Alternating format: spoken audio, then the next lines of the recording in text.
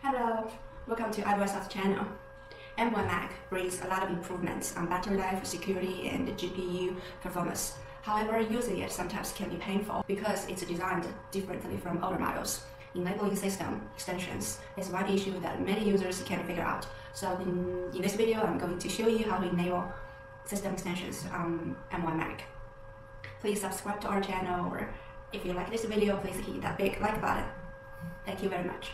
Let's get started. System extensions work in the background to extend the functionality of your Mac when you install some apps that will install kernel extensions like iBoysoft NTFS for Mac. Um, an alert of system extension blocked or system extension updated will pop up. Then you need to open security preference to enable system extension. If you don't do so, the software installation won't proceed. Um, on a Mac without M1 chip, you just need to click the yellow lock at the corner to unlock, then click the allow button. But on an M1 Mac, you have to uh, use the startup security utility to set up the security policy first. Now let me show you how to set the security policy in macOS recovery mode on an M1 Mac. First, open up your M1 Mac and keep holding down the power key.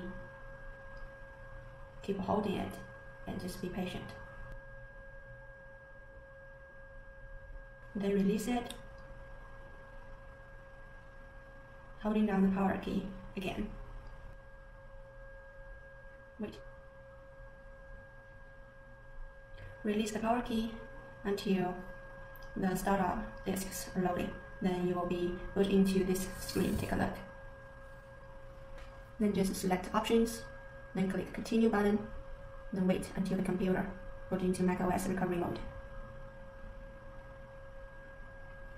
Then just select the utilities at, at the top menu bar, then go to Startup Security Utility. Then you will see this pops up. Then click the Macintosh HD disk, then select Security Policy.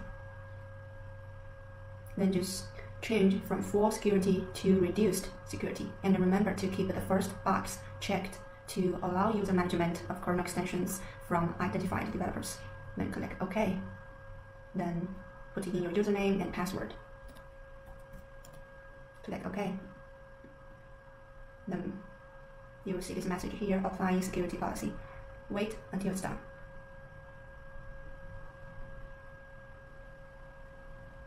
It will take a few seconds, just be patient.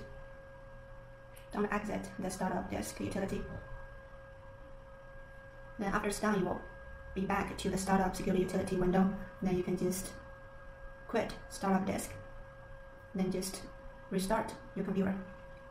After the computer restarts, the installation of the software will resume. Then you just open security and privacy preferences from the system preferences. Then click the yellow lock to make changes. Then input your username and password to unlock it. Then click details. Then select tag.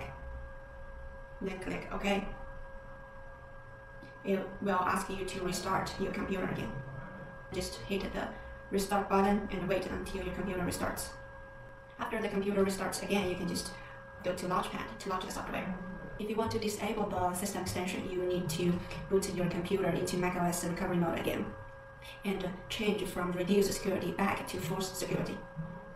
Then just restart your computer. If this video helps you, please hit the like button and subscribe to our channel. I will see you with a lot of more videos very soon.